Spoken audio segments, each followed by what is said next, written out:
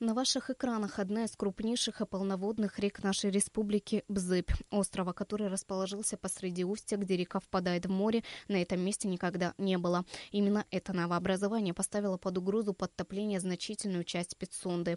Небывалые ливни в горах и морские штормы нанесли тонны инертного материала в устье Бзыпи. В результате образовалась так называемая коса, препятствующая выходу реки в море.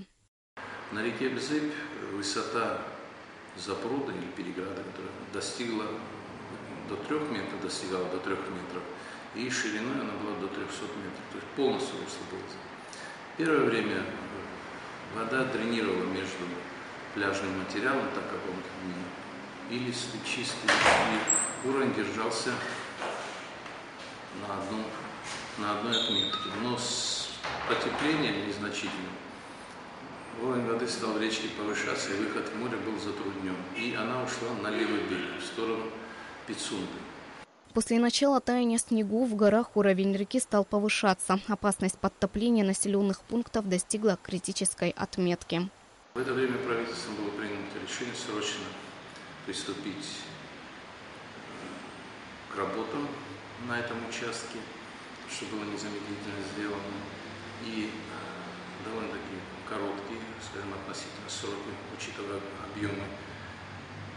Было открыто это запрута, убрана перемычка, и на расстоянии 700 метров русло реки, новое русло реки, которое могла было засыпано. Для того, чтобы река вновь вошла в русло и беспрепятственно выходила в море, специалисты Абхазберегозащиты поэтапно разрушали всю образовавшуюся косу. Ее общая площадь на момент начала работы составляла свыше 6 тысяч квадратных метров.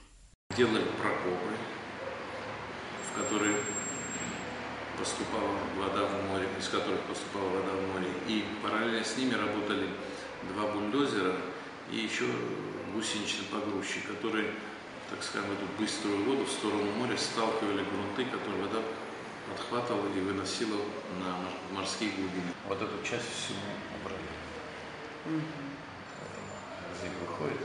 Угу. И здесь еще соорудили защитную дамбу, чтобы если будет уровень повышаться во время шторма, чтобы она не переливала туда. После проведенных специалистами работ, которые финансировались из республиканского бюджета, опасность затопления Пицунды миновала полностью. Теперь выходу реки в море ничто не препятствует, а берегоукрепительные работы по периметру русла обезопасить население от большой воды на ближайшие годы.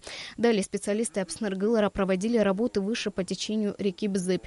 В районе ущелья река подобралась вплотную к жилым домам. Каждый день вода уносила землю с садов и огородов. После того, как до домов оставались Оставались считанные метры, стали бить тревогу, на которую своевременно отреагировали в правительстве республики.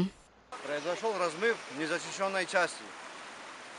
И мы вот стараемся теперь нашими силами вот делать железобетонную наброску, защитить этот участок. Укрепляют берега так называемым рваным камнем, смесью железного и бетонного строительного материала. В день специалисты насыпали до 50 КАМАЗов.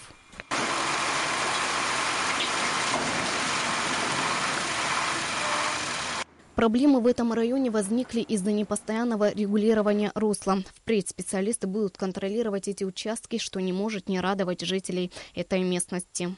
Вот до середины речки у нас была земля.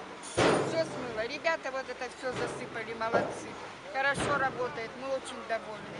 Вода поднималась и уносила землю. Вот у них это сколько? 3-4 метра унесло. А у нас 6 метров, а там 10 метров унесло. Сейчас вот э, правительство поднялось, прислало ребят, хорошо работают. Им вот, честное слово, до земли вот Такие такая благодарность. Такие праздники, ливень, дождь, грязи, они молодцы. Аж до 8 вечера, с утра до вечера работают. Немаловажен и тот факт, что прямо на берегу установлена линия электропередачи. Высоковольтная конструкция обеспечивает транзит энергии в город Гагру, частично подпевая район. Когда специалисты приехали на осмотр разрушений в воде, до ЛЭП оставалось менее 4 метров. Нам пришлось сделать здесь железобетонную наброску. Вот механизмы работают. И защищаем вот эту опору ЛЭП. Потому что стала угроза того, что ее размоет, и она даст крен, и там могут случиться всякие непредсказуемые действия.